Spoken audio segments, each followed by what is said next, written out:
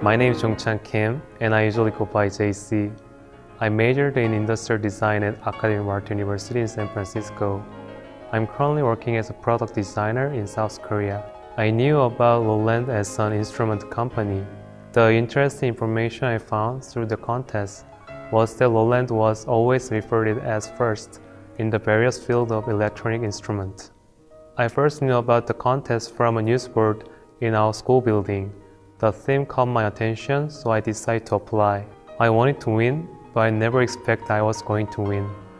I got inspired by high-end audio devices, mostly from geometric patterns and high volume of sound chambers that embody the powerfulness of sound. My very first question regarding this contest was what was fundamental elements of grand piano?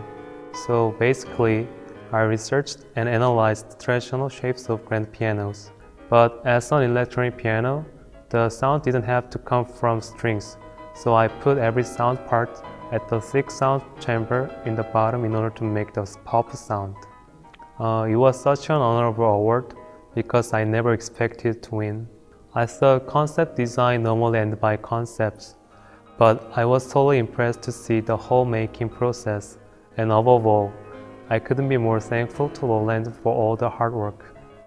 I want to keep designing products in a wide range.